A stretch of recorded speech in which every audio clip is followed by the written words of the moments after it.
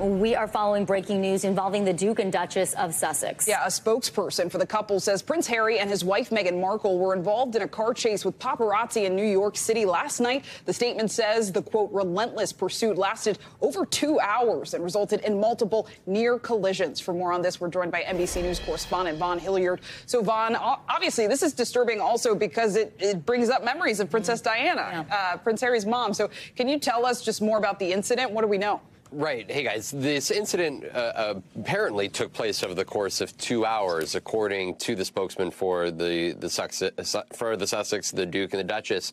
This was a uh, an incident which we're still, frankly, trying to get details exactly about what happened because much of this is coming directly from them. To our understanding, they left the theater uh, in Midtown Manhattan at about 10 p.m. last night, and then in an effort to get to the residence residence of a friend where they were staying, they were trying to avoid the uh, paparazzi. And that is where law enforcement sources are now telling NBC News, multiple law enforcement sources, that uh, perhaps a chase would not be the best way to describe it, as the spokesman did, but more of uh, uh an incident in which the paparazzi were following Meghan and Harry. Uh, they did not, to our understanding, want to reveal the location of where they were staying, and that is what led to two hours of them going through the Manhattan streets trying to avoid the paparazzi. At one point, we, to our understanding, they did switch vehicles, and uh,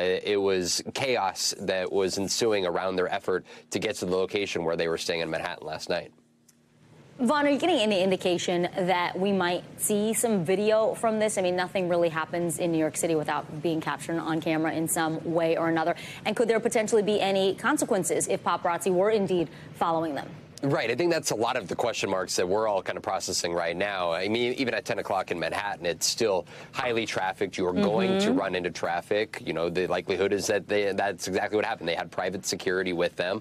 I want to let you listen to a little bit of what Mayor Eric Adams said here in New York.